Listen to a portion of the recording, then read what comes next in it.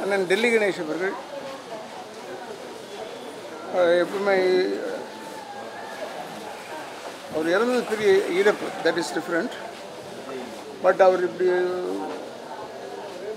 கொஞ்சம் உடம்பு சரியில்லைன்னா கூட கேட்டால் தப்பாக அதெல்லாம் நல்லா தான் இருக்கேன் பிரிஸ்காக தான் இருக்கேன்னு சொல்லுவார் but of course he was in air force so we all like யாருக்குமே அவர் எதிரின்றது கிடையாது. எனக்கு இவர் சொல்லி தான் அண்ணா ஏஆர்எஸ் போய் பார்த்து அவர் உடம்பு சரியில்லைன்னு சொன்னாங்க போய் பார்த்துட்டு வந்தேன். But he was okay so அது டெல்லி தான் சொன்னார். அவர் எல்லார் வீட்டுக்கும் அப்பப்போ வருவார் போவார். அது மாதிரி ஒரு நல்ல மனிதன் நல்ல இதயம் அற்புதமான நடிகர். நடி நடிகரில் அவருக்கு வந்து உண்மை ஒன்றுமே குறை சொல்லக்கூடாது. குறை சொல்ல முடியாது. ஏன்னா அவருக்கு அறிமுகமானதே கேபி சாருடைய வளர்ப்பு பிள்ளைகள் அவரும் ஒருத்தர்.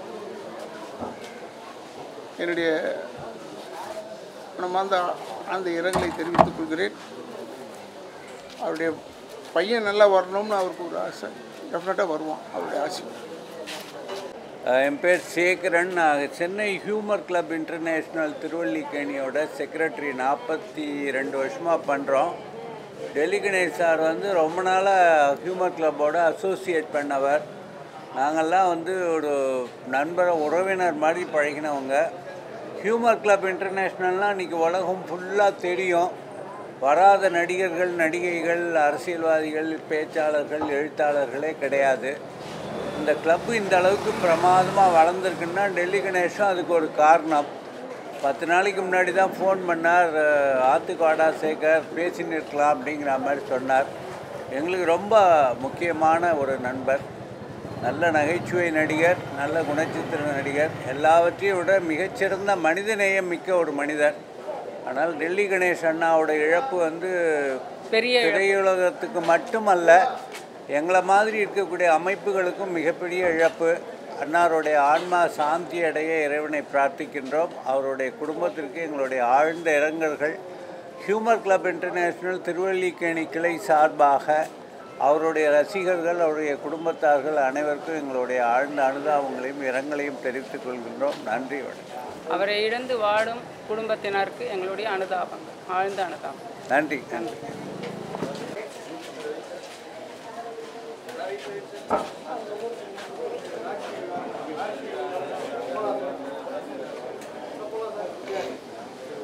டெல்லி கணேஷ் என்னுடைய நீண்ட கால நண்பர்.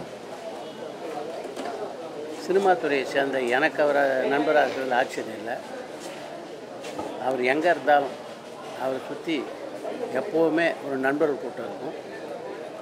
சினிமா துறையை தாண்டி வெளியில் அவருக்கு வந்து ஆயிரக்கணக்கில் நண்பர்கள் இருக்காங்கன்னா அதுக்கு முக்கியமான காரணம் எல்லாரையும் உண்மையாக நேர்மையாக நேசிப்பார். மிகச்சிறந்த கலைஞர். தமிழ் சினிமாவை பொறுத்த வரைக்கும் ஒரு யதார்த்தமான நடிகரை நாம் இழந்துட்டோம் அப்படின்னு தான் சொல்லணும். எந்த கதாபாத்திரத்தை அவர் ஏற்று நடித்தாலும் அதில் அரை சதவிகிதம் கூட இயல்புக்கு மீறிய நடிப்பு இருக்காது. அப்படி மிகவும் இயல்பாக நடிக்கக்கூடிய ஒரு நடிகராக இருந்தார். அது அவர்கிட்ட அமைஞ்சது அப்படின்னு தான் சொல்லணும். அதுக்காக அவர் என்ன முயற்சி எடுத்துட்டார் அப்படின்னு எனக்கு தெரியல. ஆனால் எந்த கதாபாத்திரத்தில் அவரை பார்த்தாலும் நமக்கு அப்படி ஒரு நிறைவு இருக்கும். நாங்கள் தயாரித்த ஜல்லிக்கட்டு அப்படின்ற படத்தில் ஒரு முக்கியமான கதாபாத்திரத்தில் அவர் நடிச்சிருந்தார். அதுக்கப்புறம் நான் சூரசம்மாரம் அப்படின்ற படத்தை தயாரித்த போது அதில் கேப்டன் ராஜு ஒரு போலீஸ் ஆஃபீஸராக நடிச்சிருந்தார். அவருக்கு சரியான அவர் கொஞ்சம் மலையாள வாடையில் பேசுவார் அப்படின்றது உங்களுக்கு தெரியும். அதுக்கு சரியான குரல் கிடைக்கல அப்படின்போது டெல்லி கணேஷன் தான் அந்த கதாபாத்திரத்துக்கு நான் குரல் கொடுக்க சொன்னேன். அதாவது நண்பர்கள் கூப்பிட்டாங்கன்னா ஒரு நிமிஷம் கூட யோசிக்க மாட்டார். என்ன வேலை சொன்னாலும் உடனே வந்துடுவார் குரல் கொடுக்கணுன்னா அப்படியே வரேன் லட்சுமணன் அப்படின்னு வந்துட்டார். நான் பத்திரிகையாளனாக இருந்தபோதும் அவரோட பழகியிருக்கேன். அதுக்கப்புறம் தயாரிப்பாளர் ஆனதுக்கு பின்னாலும் அவரோட பழகக்கூடிய வாய்ப்பு எனக்கு கிடைச்சது. அதுக்கப்புறம் பார்த்தீங்கன்னா ஒரு நடிகராகவும் அவரோடு இணைந்து ஒரு சில திரைப்படங்களில் நான் நடிச்சிருக்கேன். எந்த இடத்துல டெல்லி இருந்தாலும் அந்த இடம் ஒரு கலகலப்பான இடமா இருக்கும். இன்றைக்கி மட்டும்தான் அவர் இருக்கிற இடம் அமைதியாக இருக்குது எனக்கு தெரிஞ்சு. அவருடைய இழப்பு இப்போ இல்லை. எந்த காலகட்டத்தில் எந்த வயதில் அவர் இறந்தாலும் நமக்கு ஒரு பேரிழப்பாக தான் இருக்கும். ஆனால் அவரை பொறுத்த வரைக்கும் அவர் ஒரு நிறைவான வாழ்க்கையை வாழ்ந்துவிட்டு மறைந்திருப்பதாகவே நான் நினைக்கிறேன். நல்ல மனைவி நல்ல பிள்ளை நல்ல குடும்பம் தமிழ் அவருடைய ஆத்மா சாந்தி அடைய இறைவனை வேண்டுகிறேன். நன்றி வணக்கம்.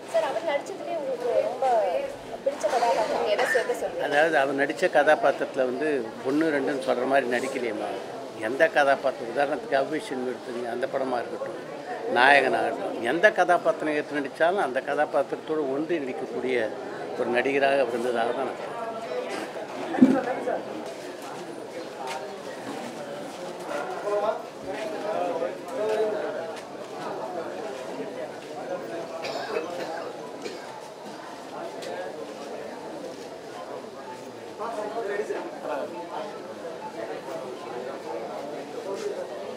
வணக்கம்.